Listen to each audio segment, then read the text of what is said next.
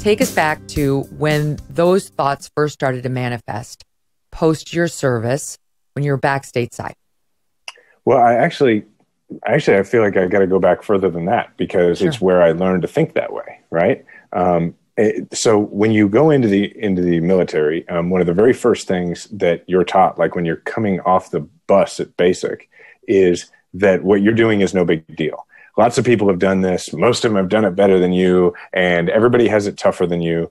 And the thing is, I'm saying that now, and it kind of sounds as if I'm being critical of it, but I'm not because it's a super necessary form of brainwashing. I mean, for me to go over to Afghanistan and to keep going into rooms as an intelligence officer where there was a reasonable chance that I could be kidnapped and killed, and to do it over and over again, knowing that my life was in danger, I have to believe that this doesn't count as combat. I have to believe that if it's not a scene out of Black Hawk Down, uh, that it's not combat, and therefore I have no right to be bothered by it, so that I can keep going in and getting the information that my country needs as an intelligence officer. Uh, but then you come home, and the problem is nobody really flips that switch off, right? So nobody nobody sits you down and says, actually that was some crazy stuff. Or like in my case nobody sat me down and said actually after you left we stopped doing it that way because other people like it was too difficult for people. Or two of the guys that you served with you know they had the same problems in the years that followed that you had but none of you three talked to each other about it. So um, you know that's really why i wrote the book. But to your question of you know what was it I was thinking initially. Well, I was thinking that I had it on really good authority that what I did was no big deal, and so as a result, uh, when I was having night terrors, uh, when I was you know unable to sit in a restaurant with my back to the door, uh, feeling like I was in danger all the time, that sort of thing, I, I just kept telling myself, well, it can't be PTSD because I didn't earn PTSD because what I did was no big deal. And what I found ever since making my announcement almost four years ago now, and now writing the book and doing these interviews and that kind of thing, is that everybody feels that way coming out of the military, um, mm. and uh, and they and that that's that's why we win wars frequently, right? Is because as one buddy of mine told me at one point, because somewhere there was a World War II vet sitting in a VFW hall explaining, yeah, I was first wave at D Day, but I was in the back of the landing craft. It's really no oh, big wow. deal. Wow. Um, and so uh, the thing about that is is that I think that there's some element of that throughout our society, right? Like there's a lot of trauma going on in the news. There's everybody has trauma in their lives. But I gosh, if I had a dollar for every person who comes up to me and says, "Well, this is what I've been dealing with, but I wasn't in a war or anything."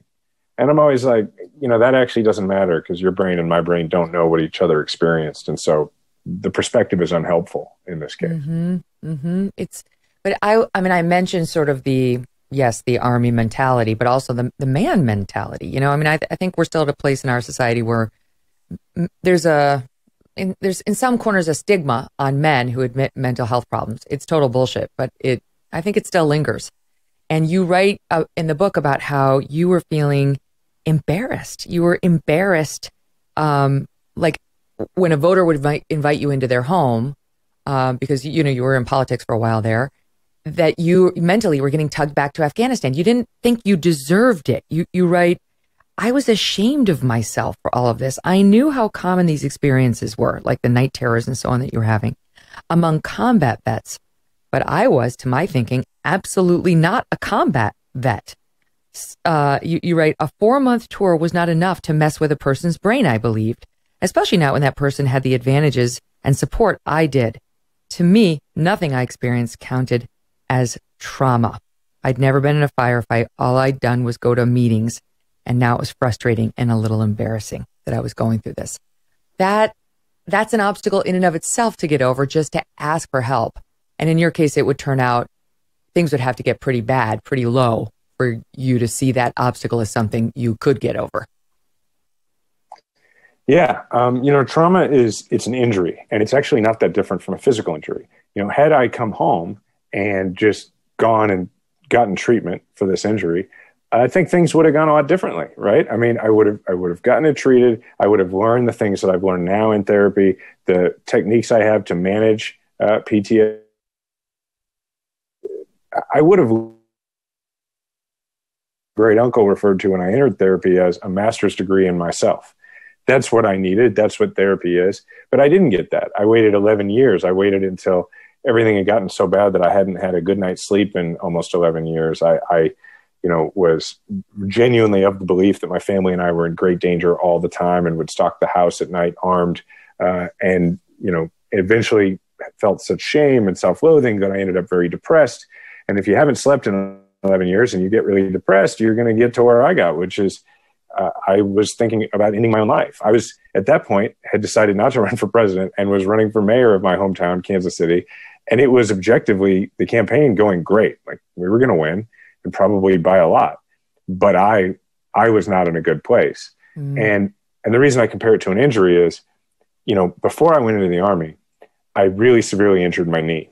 It was dumb. I was playing pickup football with my buddies, and uh, and so I, you know, I tore my ACL and my meniscus, and and the army said it was right after 9/11. They said, well, if you want to come into the army, you you got to get surgery and you got to go through physical therapy. So I did that. I compare what I did with my brain to it's as if I went into the army without getting that surgery or that physical therapy and just said, well, I'll walk it off. You know, time will fix it. I probably, first of all, wouldn't have been able to hack what I needed to do in the army. But had I somehow been able to do it, I would have finished my time in the army with a, a right leg that was totally mangled. Well, that's what I did to my brain. I didn't go treat the injury. And yeah, my trauma um, was not as severe, probably, as, as a lot of other people. Um, and I got really hung up on that and f- fixated on that instead of just treating it. Uh, and so then that's what happened is I just allowed it mm-hmm. to get so much worse. Are you tired of feeling like someone's always watching you on the internet? Maybe advertisers know a little bit too much about you, or you're concerned about the privacy of your identity? Using incognito mode will not solve the problem either. IPVanish VPN is here to protect your right to privacy and to help you stay anonymous online. IPVanish helps you safely browse the internet without exposing your private details to third parties. You can use IPVanish on your computer, tablet, phone, and when you use IPVanish, all of your data is encrypted. IPVanish makes you virtually invisible online. It's that simple. IPVanish is offering an incredible 70% off, 70 off their yearly plan for our listeners with a 30-day money-back guarantee. That's like getting 9 months for free. IPVanish is super easy to use. All you have to do is tap one button and you are instantly protected. Take your privacy back today with a brand rated 4.6 out of 5 on Trustpilot.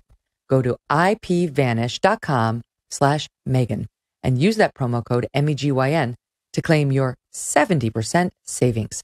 That's ipvanish.com slash Megyn.